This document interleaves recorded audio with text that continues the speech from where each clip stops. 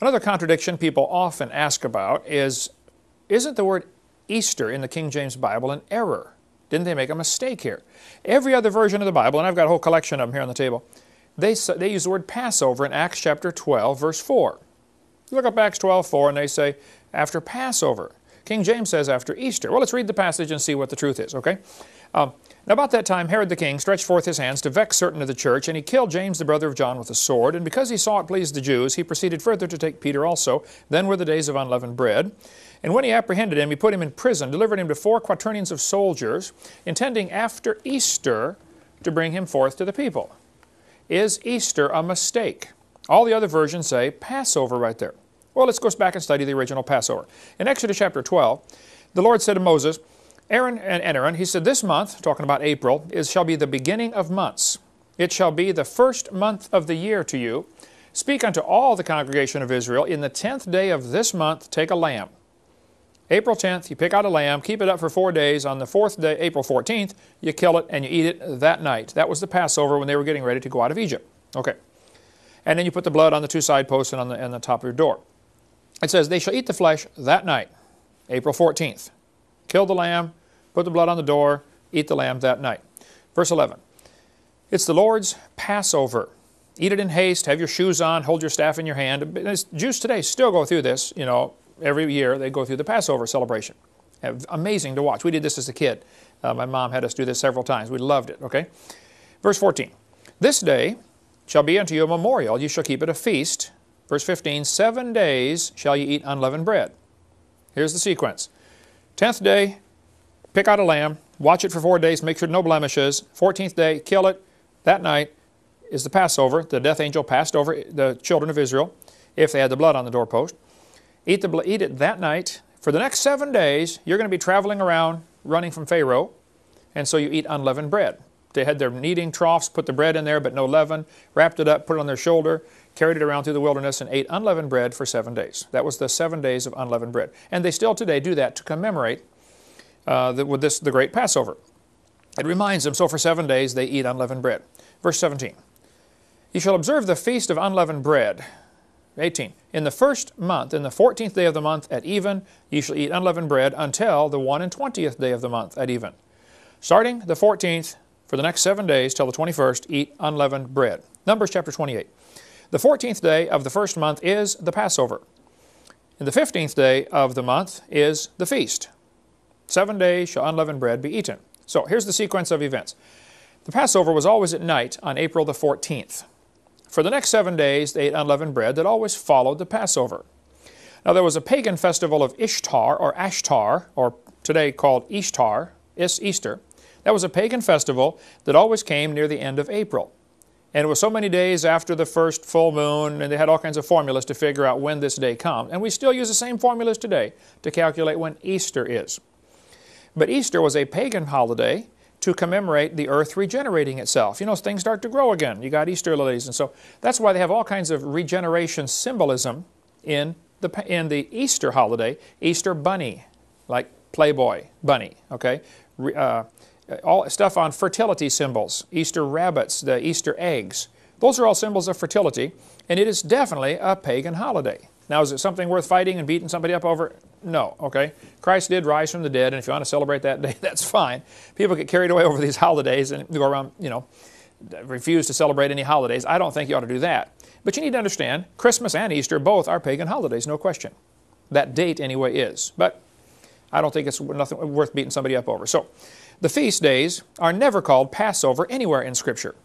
Peter was arrested during the days of unleavened bread. It says so very clearly in Acts 12, which means the Passover was already gone.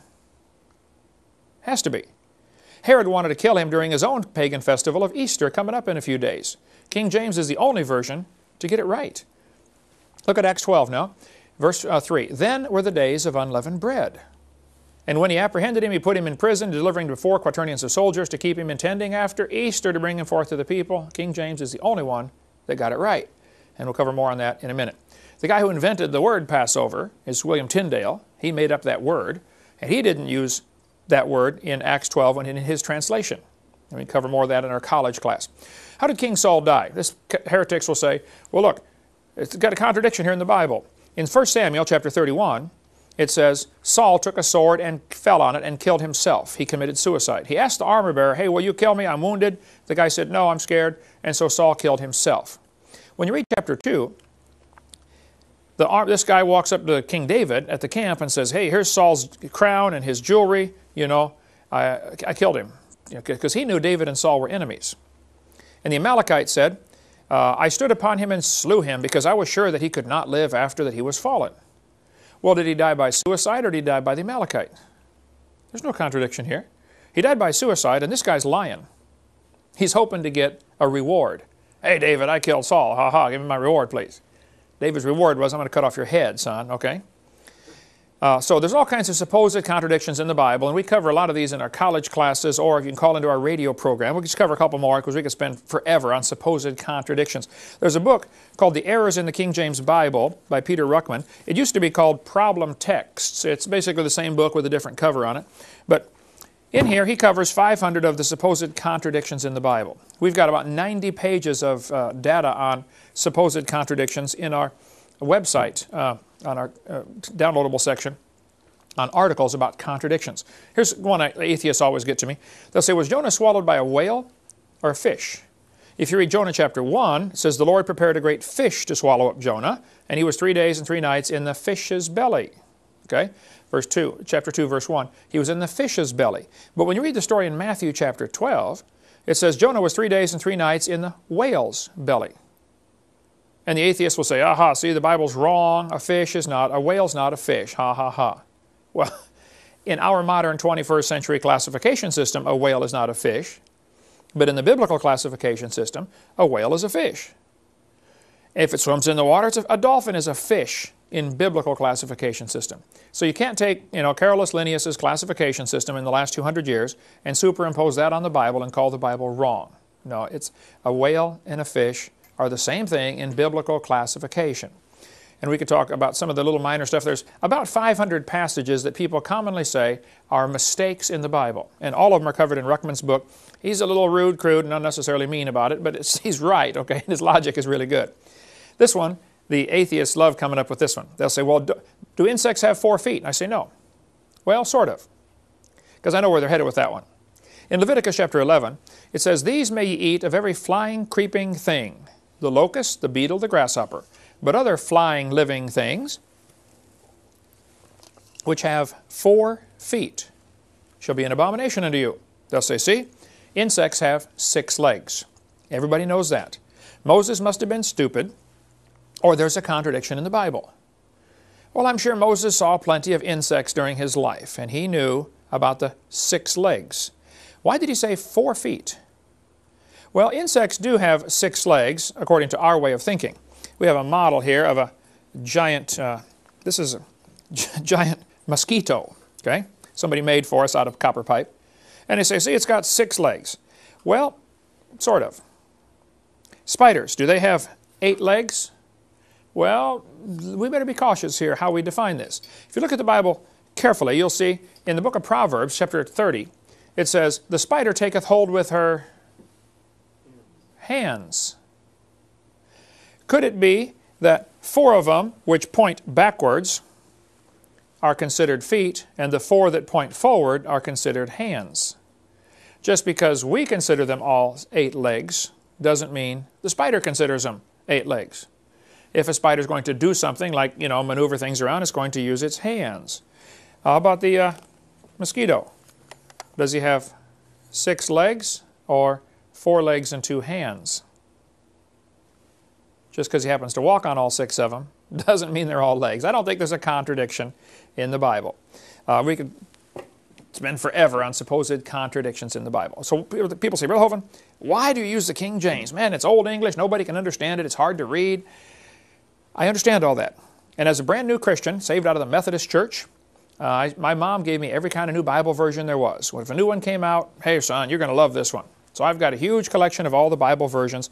When I was 16, I had the reviled substandard perversion of the Bible. It's here someplace, my original copy. But uh, I was reading that, going to church, going to this little independent, temperamental, fundamental, right-wing, radical, chicken-eating Baptist church. And the preacher was banging on the pulpit saying the Bible's the Word of God. And I was making notes in my revised standard version. And after a couple of months, he said, Brother Hovind, you've been a Christian a few months now. Uh, it's time you get a Bible. I said, I got a Bible. He said, No, you need a real Bible. I was offended. Okay. I thought, well, I got a Bible. I've been making notes. I've been reading an hour a day. What do you mean? He said, Well, there's real problems with that one. So, why King James? It's been 33, 37 years now as a Christian of you know, studying this topic. Why? Look at Psalms chapter 12. The words of the Lord are pure words, as silver tried in a furnace of earth, purified seven times. Thou shalt keep them, O Lord. Thou shalt preserve them from this generation forever. What does the word them refer back to in that verse? Thou shalt preserve them. Preserve what? His words. He's promising he's going to preserve his words, right? How about NIV? The words of the Lord are flawless, like silver purified in a furnace of clay, purified seven times. O Lord, you will keep us safe and protect us from such people forever. Is that saying the same thing? I mean, I was born at night, but it wasn't last night. It looks to me like somebody's wrong about this one. Okay? What does this mean? Keep us from such people. What people is it talking about? There are very serious differences between these Bible versions. We've got a book, I don't know if I have it here, it's in our library. It, the guy sent it to me. It took me six months to figure out what the title said. I read it, I said, what? Went on to something else. Every time I look at the book, I said, what is this? The title was, Things That Are Different Are Not the Same. I thought, well, duh, why would you title a book like that? You know, things that are different are not the same. And then I thought, wow, these Bible versions are definitely different, so you can't say they're the same. There are, as far as I understand it, 151 English translations of the Bible right now available. The law is you cannot get a copyright and therefore protect your work and therefore get more money unless you have 10% different from the original. Are there 151 different ways to say each of the verses in the Bible? At some point, you're going to have to stop saying it the right way and say it the wrong way just to make it different, just to get your copyright, just to get your money love of money, root of all evil. Here's a quick story. We can take an hour on this one, but right after the time of Christ, the disciples were writing their books and they were being persecuted and spreading out, you know, and people were copying these letters and copying the Gospels and spreading them out. Persecution hit the church and they spread out everywhere. And for the next thousand years, it was horrible persecution against the church. And if they caught the heretics, the Christians, they would burn them at the stake and burn their Bibles. Well, People were spreading the Word of God around, making all kinds of copies. It takes about 10 months to write out a copy of the Bible using a pen. Now, you don't even have a good ink pen. You got a feather and you got to keep dipping it in the ink and keep cutting a new point on it. You don't even have a good ink pen, nor do you have good paper to write on. You know, lumpy parchment, stuff like that, or leather. But anyway, with all the obstacles they had, plus, you know, being persecuted, it took about 10 months to write out, handwrite a copy of the Bible. well, they're making all these copies. By the time you get to 15 and 1600s, persecution lets up and so people decided to collect the Bible copies together from all over the world and, and compare them and put it into English. Now keep in mind, some of these copies of the Bible had not seen each other in a thousand years. There might have been people in France that were copying the Bible, and people in Africa copying the Bible, and people in China copying the Bible. And they have, you can only use a book so long and it wears out. I've got, I don't know how many, absolutely worn out Bibles. Okay, I think I have probably five or six that I've just flat, they're shot, okay? If you're going to, a book that's in active use is going to have a, a limited life. And let's just pick a number and say if you were really careful with your scrolls, I mean treat it real carefully, you might make a scroll last 300 years and still use it every day. Just for illustration. Well, so in 300 years, your original is worn out, it's trash, it's junk, you throw it away because you now have you know 800 copies of this thing, or a certain large number of copies. Then you take those copies and make copies. And after maybe a thousand years, you might be on your fourth or fifth generation from the original, but that's perfectly fine. It doesn't matter as long as the copying process was accurate. And a good way to check that copying process and see was it accurate is after you go, after each of these, you know, the French ones and the German ones and the English ones and the Chinese ones, each go five generations. Now let's get the fifth generation and compare them all and see how accurate they are. And that's what happened in the 15 and 1600s. They got all these scrolls together, found 5,000 copies of the Bible that survived the persecution, and they were identical in everything except spelling. People's names, you know, Peter and Pedro, stuff like that had changed. So they said, man, God truly preserved His Word. It's, this is it. This is word for word exactly. He preserved it. So, meanwhile, down in Egypt, there was a group of folks, sort of like Jehovah's Witnesses. I've got the Jehovah's Witness Bible here. Um, they were a cult. They came to be known as the Alexandrians. The Alexandrians uh, did not believe in the deity of Christ. They didn't believe in the bodily resurrection. They didn't believe in a lot of Christian things, kind of like Jehovah's Witnesses today. So they made their own copy of the Bible, changing things they didn't like. They made about 6,000 changes. The primary guy in this cult was a guy named Origen. He was the leader of this cult in uh, late uh, 2nd century, 3rd century. The only mention of Alexandria in the Bible is when they were disputing with Stephen, arguing with the real Christians. And if you trust the principle of first mention, which I think is very important, then that'll be important to you to say, wow, the only mention of these folks is bad. And so the, anything out of Alexandria, anything out of Egypt, period, in the Bible seems to be bad, you know. But Origen started this, or was the primary guy in this cult. They made copies of their Bible also, with their changes in it. And some of them survived. In 350 AD, several copies were made, and three of those still survive today.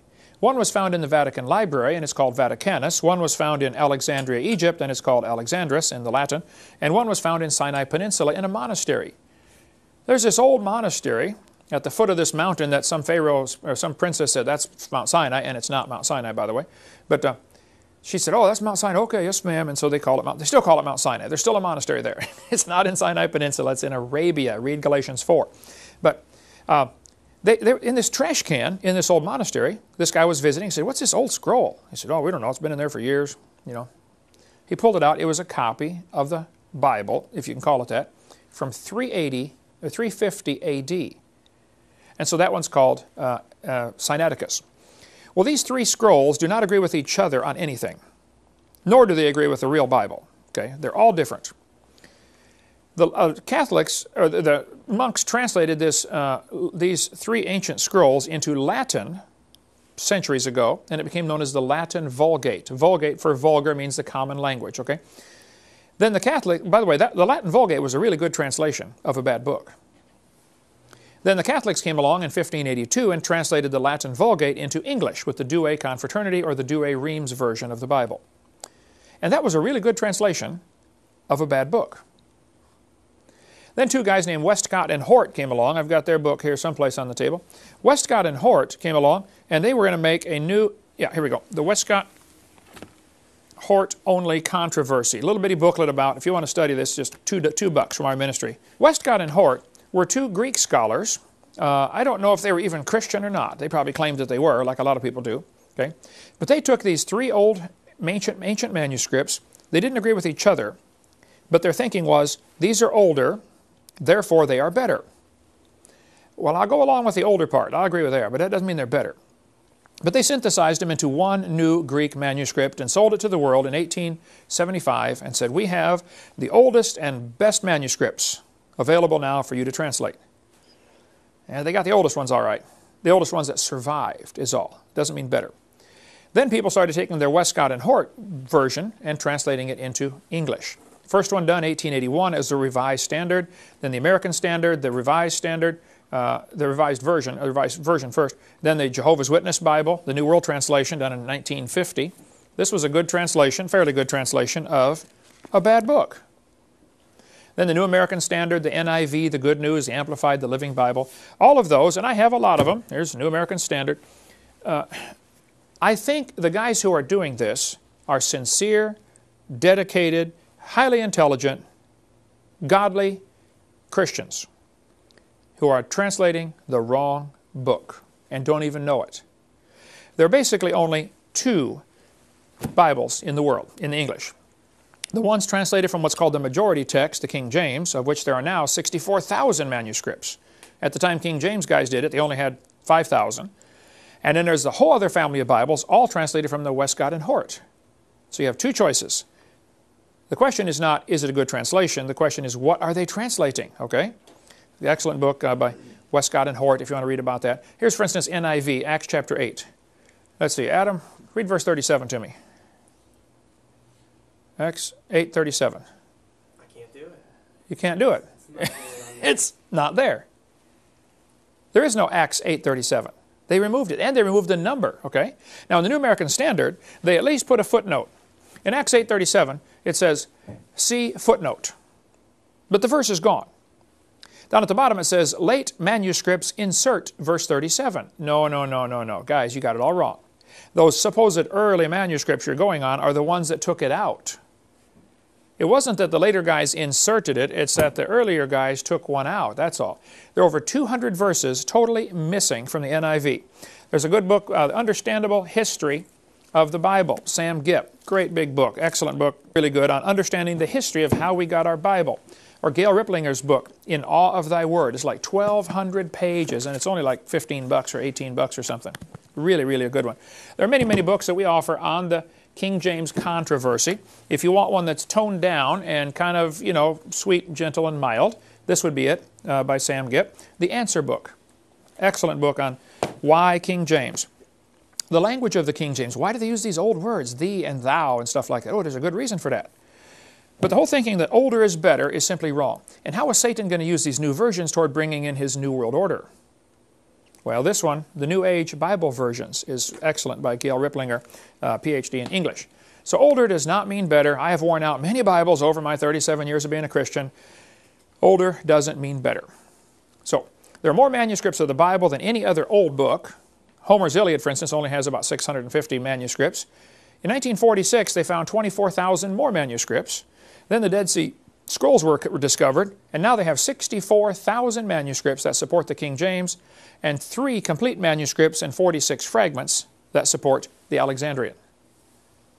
Then the Isaiah scroll found in the Dead Sea Scrolls was actually a thousand years older than the other manuscripts. So there's plenty of good books available on that. Uh, there are all kinds of things we could talk about on the problems with the King James, or problems with the other versions, like 2 Samuel 21. Who killed Goliath? Who killed Goliath? David killed Goliath. 2 Samuel 21 says, Elhanan, the son of no, his dad, uh, slew the brother of Goliath. NIV says, Elhanan, the son of the same guy, killed Goliath. This is an error. Okay? It's wrong. It's, they blew it, all right? They left out verses, and we could scan through some of these. There's, all these verses are left out. There's a list on the website, avpublications.com, of verses that are left out. 200 verses are simply gone. And those that are the, still in there, many times are changed to something meaning totally different. For instance, Hosea chapter 11, Judah yet ruleth with God. NIV, Judah is unruly against God. Would you say that is saying the same thing? Judah is also unruly against God? It's not saying the same thing. Thy dwelling shall be the fatness of the earth, Genesis 27. That's one of the blessings. Your dwelling shall be away from earth's richness. Away from the fertility of the earth shall be your dwelling. They're saying the opposite, folks. It's not the same. Proverbs 18. A man that hath friends must show himself friendly. What's that mean? If you want to have a lot of friends, then be friendly. NIV. A man of many companions may come to ruin. Are these saying the same thing? Am I missing something here? If you got a lot of friends, you'll be ruined? That's what it says. That's not at all correct. The Bible says in Matthew 7, that narrow is the way. Straight is the gate, and narrow the way that leadeth to life, and few there be that find it. Revised Standard says the gate is narrow and the way is hard. Wait, is it hard to go to heaven, or just not many do it? Now, they use the these and the thous, and there's a reason for that, and then we'll go on to another subject here. Um, if a word starts with y, it is plural. Ye, your, etc., okay? If it starts with T, it is singular, and there's an important reason. Nobody in 1611 was walking down the street saying, How art thou today? They weren't using that. But the King James translators wisely chose to use the these and the thous because of the distinction. If I walk into a room and say, You come with me, does that mean one of you or all of you? You can't tell. But if you use thee and thou, you can tell. You can see in John chapter 3 very clearly. Jesus said to Nicodemus, Marvel not that I said unto thee, singular, ye must be born again. He changed it to plural. I'm telling you that everybody must be born again. That's a really important distinction. Otherwise, he'd be saying, Nicodemus, I'm telling you that you got to be born again. Well, how does that apply to Kent Hovind? It wouldn't apply. The fact is, it's very precise in the King James. So we can talk all day about that. We'll cover more in our college class. I think the whole concept you need to get in your head is God promised He would preserve His Word, so where is it? I would like to hold a copy of it. And after 30 some years, I was slowly dragged kicking and screaming, screaming into the King James camp. God preserved His Word for in English. and we've got it. A couple of verses really attract my attention because of I speak, my speaking on creation all the time. Ephesians chapter 3 and verse 9. King James says, To make all men see what is the mystery, the fellowship of the mystery, which from the beginning of the world hath been hid in God, who created all things by Jesus Christ. There are two important phrases here. It says, from the beginning of the world. That's a definite time. He created things by Jesus Christ. Colossians 1 says the same thing. Jesus created all things. Jesus is God in the flesh. Well, a lot of these new Bible versions uh, come from the Alexandrian, and they did not believe Jesus was God in the flesh. And they, bookstores, of course, want to sell lots of Bibles, love of money, root of all evil, and they don't want to offend anybody. So, hey, let's sell a Bible version that doesn't offend people. So look what they did with Ephesians 3 9. Which for ages past was kept hidden in God who created all things. Well, they left off Jesus. You don't want to offend people, you know. And they made it ages past instead of from the beginning. Nearly all the new Bible versions have changed it to say ages, ages, ages, and they leave off Jesus in every case, except for the New King James. They left Jesus in there, but they still call it ages past. That's the only one I could find that left Jesus in there, but they all changed it to ages. They don't want to get this definite six-day, you know, young earth creationist because they might offend people and, again, lose money. Now, we could spend hours on the different uh, problems with these verses. The last one that bothers me is is it the first day in Genesis 1.5 or is it one day? Every version that I found says one day. King James says the first day. Why would they change it to one day? Well, again, they're trying to allow for the long periods of time. And I don't understand how somebody can read Genesis 1.5 and still believe there's a gap between verse 1 and 2 of any amount of time, more than an hour. The first day. It couldn't be more clear in my mind. A question that I get asked just about every week as I travel, what about the Bible codes? Is it true that there's a hidden code in the Bible, in the Hebrew? Well, there are all kinds of books that have been written about the Bible code question, and we'll cover those in a second, but let me give you the basic concept. Uh, Grant Jeffries has a great chapter, just one chapter, but in his book called The Signature of God about this topic, the Bible codes. Here's the concept. If you take the Hebrew language, and only the Hebrew, and only the King James backed Hebrew, by the way, and you put it in a computer with every single letter in a continuous string of letters, you can make like an acrostic, and by skipping letters, you end up with finding other words hidden in there. For instance, in uh, every 13 letters in Deuteronomy chapter 10 spells out in the bitter sea of Auschwitz, the famous concentration camp for Adolf Hitler. Every 22 letters spelled out Hitler. Other phrases found in this passage were all kinds of things dealing with Adolf Hitler.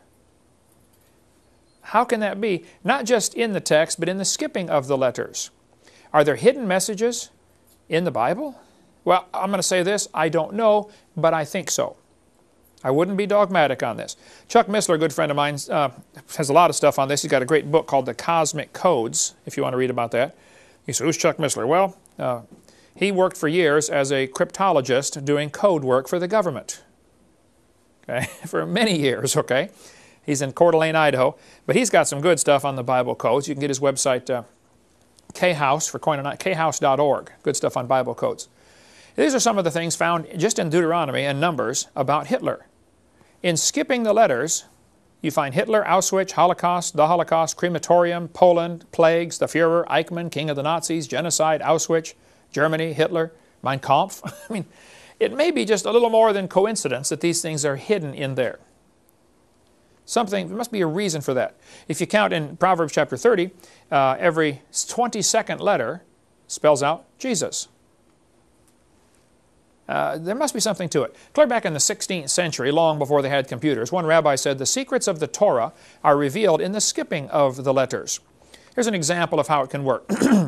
Rips explained that each code is a case of adding every fourth letter to form a word. R, E, A, D. Read the code. You skip every four letters, there's a hidden message inside this sentence. That's what Bible codes is all about. Is there a hidden message inside the Bible? In addition to the message you're reading, is there something else in there? Well, I don't know. But in Genesis, if you skip every 49 letters, you can spell out Torah. Interesting. 49, seven sevens.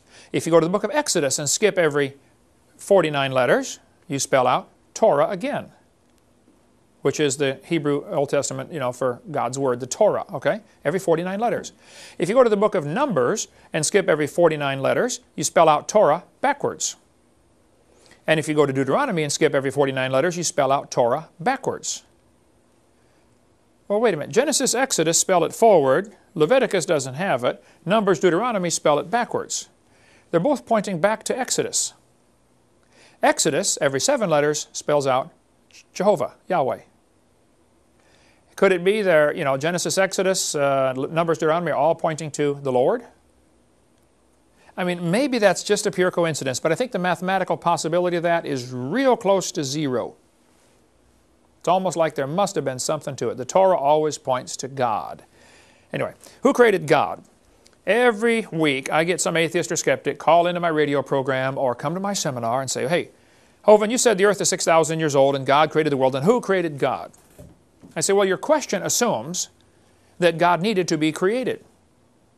Actually, your question assumes two things. That God needed to be created and that God is locked in time like we are. Both of those are faulty assumptions. If God is infinite and outside of time, then He didn't need to be created. He just is. Now, the fact that my brain and your brain won't hold that doesn't matter, but it's the way God reveals Himself. Here's Discover Magazine. What happened, what existed before the Big Bang? So in Genesis 1, it says, in the beginning, well, what was before that? I'm going to have to say, nothing. There was no time before that. The question of where did God come from or what did God do before the creation assumes that God is sitting around locked into time like we are and He has to wait for things to happen. no, He doesn't. He's not stuck in time. We are stuck in time. But both views, creation and evolution, assume a beginning of some kind, okay? You have to have a beginning. Even the evolutionists will say, nothing really means nothing not only matter and energy would disappear, but also space and time. Now they know full well, and it's exactly correct, that if you have, you have to have time, space, and matter come into existence simultaneously. See, if you had matter but had no space, where would you put it? If you had space and matter but had no time, then when would you put it? You got to have time, space, matter, a continuum, come into, I mean, if you had length and width but no depth, you have nothing. It only exists in the imagination. Okay. Uh, God says He inhabits eternity in Isaiah. Deuteronomy says He's the eternal God. Isaiah says, "He look unto I am God. There is none else." Okay. I am the Almighty God. Well, if He is the Almighty God, then He is not controlled by time, space, or matter. He is right now in tomorrow. And Genesis 1 has an amazing trinity of trinities. In the beginning, that's time, which has three dimensions, by the way, past, present, future. God created the heaven, that space, which has three dimensions, length, width, height. And the earth, matter, has three dimensions, solid, liquid, gas. A trinity of trinities just in ten words. He says, He did it. Okay, all I can do uh, is believe that. Now in Revelation 10, it says, Someday there shall be time no longer. At the end, it's over. There's no more time. And we got some beautiful songs. Uh, Amy, your husband, plays the guitar and violin, or not violin, banjo, and plays, you know, we sing all these great songs in church. You know, when we've been there 10,000 years, well, that's a wonderful song, and I love it. But it's not true. We're not going to be there 10,000 years. We're going to be there. Time, space, matter must be created simultaneously. God says He did it. So the question, what did God do before the creation, is an invalid question. He is outside of time, space, matter. Out, totally outside of it. Nearly 200 times in the Bible, God says, I am. I, he, is, he, is, he is present. See, right now, it is not 2005, soon to be 2006 in a couple days, in heaven. There is no time there. No time at all. He is outside of time, space, matter. Jesus said, I am. He's claiming to be God. I am. I am. Well, it's all through the Bible. Abraham, before Abraham was, I am. They were going to stone him when he said that one because they knew he was claiming to be God. I am the door. I am the vine. I am the light of the world. I am the good shepherd. He, over and over, they, they knew he's claiming to be God. And they didn't like him for it. Well, you know why he claimed to be God? Because he was. Next question. Who wrote the book of Genesis anyway? I mean, here we got a Bible claiming to be written by God, and we say, well, we know men wrote the Bible. I mean, come on. God didn't write the Bible. And who wrote Genesis? Well, this is really a fascinating question. Who wrote that book of Genesis? The skeptics for years, like Dr. Pruitt, Eric, you want to meet his, I've debated him four times now at University of West Florida. He's a Genesis scholar. He believes that four different authors wrote Genesis. This is what the Germans, higher critics, started teaching about 160 years ago. They said, well, if you read through Genesis, there are four different authors. Because you can tell by the style of writing. And they call it JEPD for Yahwist, Elohist, Priestly, and Deuterist. And they're actually partially correct. There are different styles of writing in Genesis. If you look at Genesis chapter 1, God created the heaven and the earth. God said, God saw, God divided, God said, God called. 31 times it uses the word God. When you go to chapter 2, starting with verse 4, there's a change. It says, Lord God, Lord God, Lord God, Lord God, all through chapter 2. It's using a different name for God, a totally different style of writing. People that study Hebrew say, wow, it's, it's a new person's writing this. Correct. So who wrote Genesis anyway? Well, the book of Mark, chapter 12, tells us, in the book of Moses, it talks about, you know, how God said to Abraham certain things. That's obviously referring to Exodus. So here, the New Testament's telling us that Moses wrote Exodus. In Deuteronomy, it says if a man dies, has no children, the brother marries the wife, and the first child gets the inheritance of the dead father to make sure property doesn't get scrambled up. Okay? That was the law they had. Okay? Well, if you read in Luke, Moses wrote, raise up seed to your brother. So here Luke is telling us pretty obviously that Moses wrote Deuteronomy. With a little searching through scriptures, you could prove conclusively that Moses wrote Exodus, Leviticus, Numbers, Deuteronomy. No question. It never mentions Moses as the author of Genesis. So who wrote Genesis? Actually, Moses was the editor of Genesis. He collected it. But there were 10 different eyewitness accounts in Genesis. Adam actually wrote part of Genesis. The way to tell where it breaks off, 10 different times in the book of Genesis, you will find the phrase, these are the generations of. That's the switching phrase where a new author is now is taking over. Apparently, God wrote the first chapter. There's no way anybody else would have known those things. But chapter 2, Adam was there for chapter 2. And Adam wrote chapter 2, 3, 4. Chapter 5, he switches off. Now keep in mind, Moses edited Genesis from 10 eyewitness accounts. He probably had the written on clay tablets, we would assume, preserved as a pottery record forever. You write on the clay, bake it in the sun, and it lasts a lot longer than a book lasts. And Noah would have taken some of these on the ark with him, the first few chapters, you know, get a little box of clay tablets and carry it on the ark. Okay? The fact that other people wrote down their account before Moses got around to doing it does not mean they got it right. And the skeptics will say, well, the Sumerian legend was written before, uh, before Moses even lived. That's correct. And they'll say, see, that proves Moses was copying from them. no. If you got 10 people or 20 people that witness an event, and they all go home and they're going to write their story about what they saw, the first one to publish his story does not necessarily have it right. The fact that somebody published first doesn't mean they got it right. Genesis 5 says this, the generations of Adam. Adam right there is signing off. Probably, again, clay tablets makes a permanent record, lasts for millennia. Chapter 6 is these are the generations of Noah. Noah is signing off right there. He wrote actually chapter 5 and part of chapter 6. In chapter 10, verse 1, these are the generations of the sons of Noah. Noah's sons wrote part. They wrote some more. And then Shem wrote some more after that. Shem apparently was interested in keeping track of where all the grandkids are leaving to.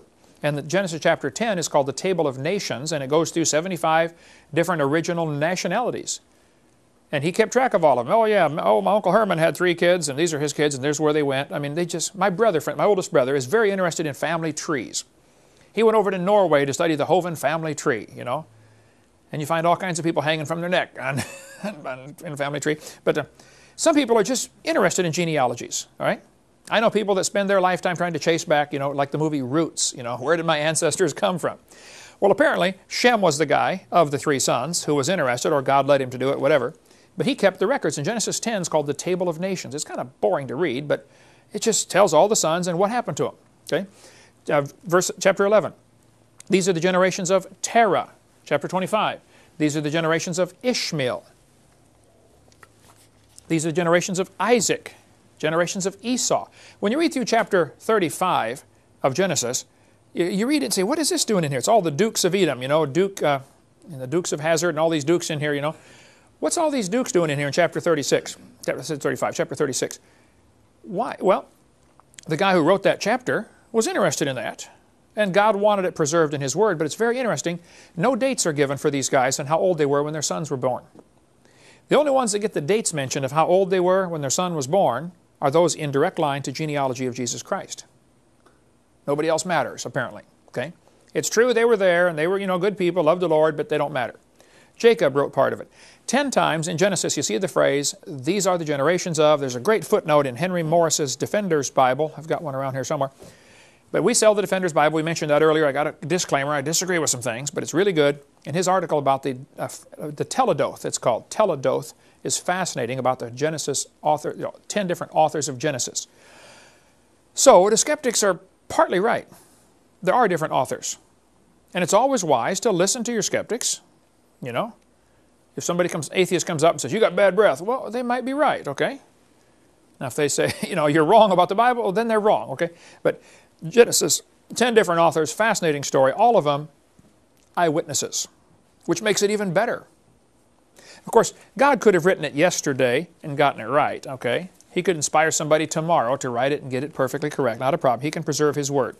But the fact that it was done through 10 different eyewitnesses, to me, kind of adds even more credibility uh, about this.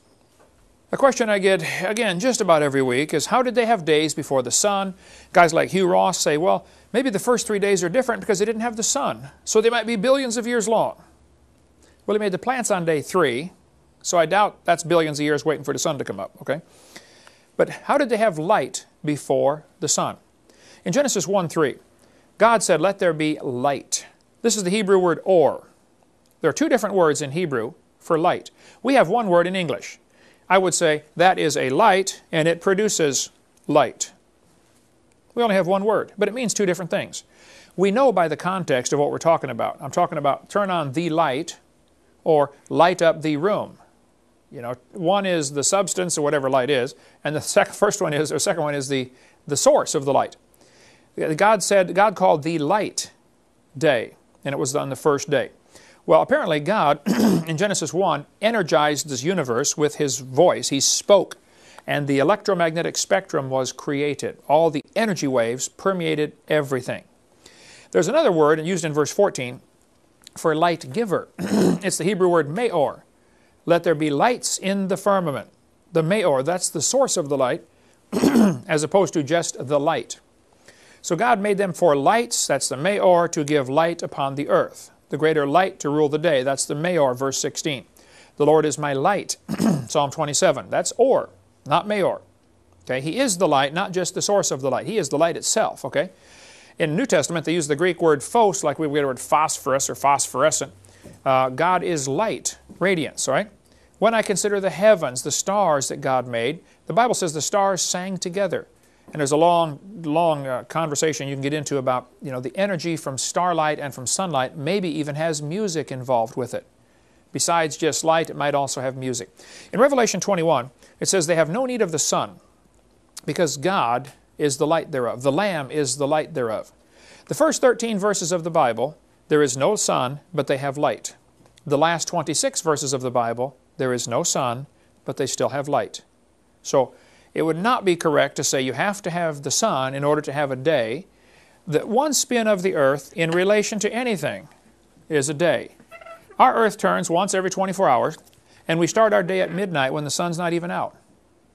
If the sun disappeared tomorrow, how long would our days be?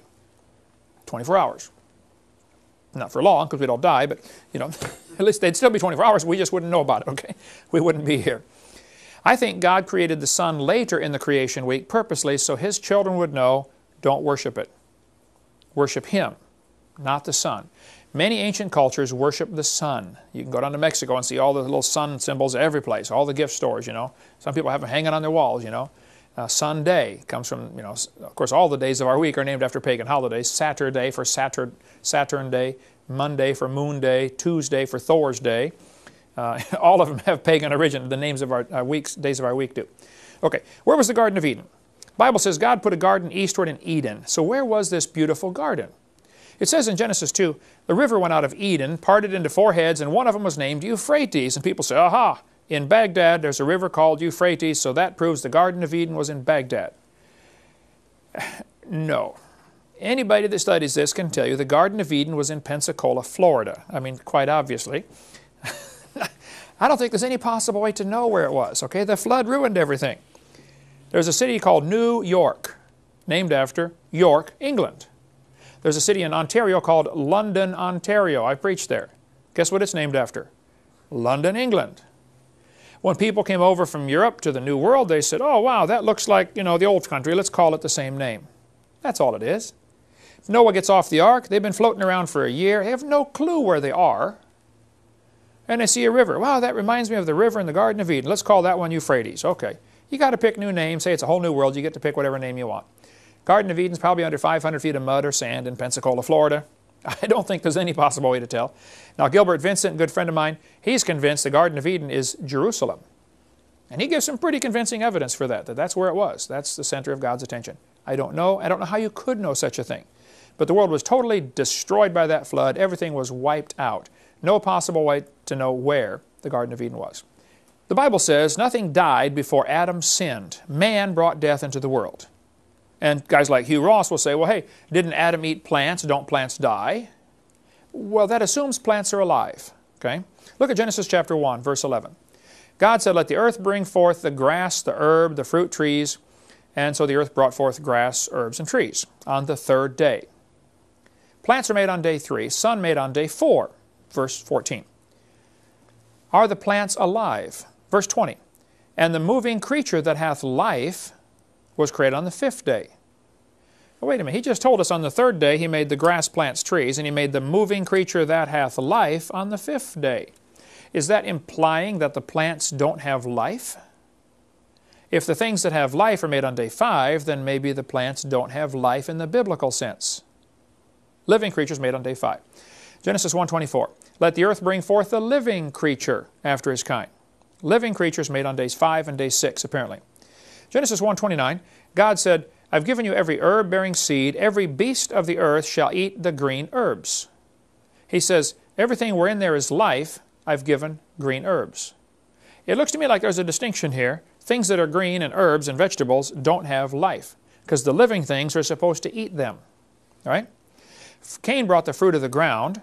Abel brought the firstlings of his flock. And God did not respect the fruit of the ground. It doesn't have life. You can't get blood out of a turnip, is the expression. It's got to have life, got to have life and blood and death to please God. Without the shedding of blood, there's no remission of sin. Genesis 6 God said, I, even I, do bring a flood of waters upon the earth to destroy all flesh, wherein is the breath of life. Every living thing of all flesh shalt thou take, come into the ark, the fowls, the critters, etc., and take unto thee of all food that is eaten. Again, is there a distinction here? living things get in the ark and the food, which would obviously be the plants. I think there's a distinction. Okay? The beasts, the cattle, the creeping things, the fowls, wherein is the breath of life. The Bible talks about the breath of life in the animals. All flesh is not the same flesh. There's one of men, one of beasts, another of birds, different kinds of flesh. He says in Genesis 9, Every moving thing that liveth shall be meat for you, even as the green herb. In Genesis 9, he says, Now you can eat things that live and move, whereas before you could eat the green herbs. Again, I see a distinction living plants are not alive in the biblical sense. The life of the flesh is in the blood, Leviticus tells us. The life of the flesh is the blood thereof. He says in Leviticus 17, Ye shall not eat that which dieth of itself. Well, if you can't eat that which dieth of itself, don't we wait and eat the fruit, nuts, and stuff after they fall off the tree? Would that be a violation? If they're alive, then they died and fell off the tree and you ate it. You'd have a problem. As soon as you pick it off, you'd have to actually eat them on the tree. Climb up the tree and try to eat the apple without breaking it loose. if you, otherwise, you'd violate this scripture. Bible talks about the tree of life, which bear 12 manner of fruits. The fruits can give you life, but the fruit itself, I don't think, is alive. The Bible says leaves fade, they wither, they fade. Over and over in the Bible says they wither, they wither, they fade. It doesn't ever say they die. The reeds and flags shall wither. Isaiah 19, the reeds shall wither. Isaiah 40, they shall wither. Okay? All through the Bible, you see that leaves wither and they fade. They are not alive because they don't have breath, they don't have blood, they don't have a soul. They're not alive. A car can die, but it's not alive. It's the word die is just a word we use. A computer can die. There's this blue screen of death. Pavel, you get that once in a while. This computer died, okay? Oh no, now what do I do, right? The wind can die down, a dream can die, but none of those things are alive. It's just an expression. A plant is a complex, self-replicating food source.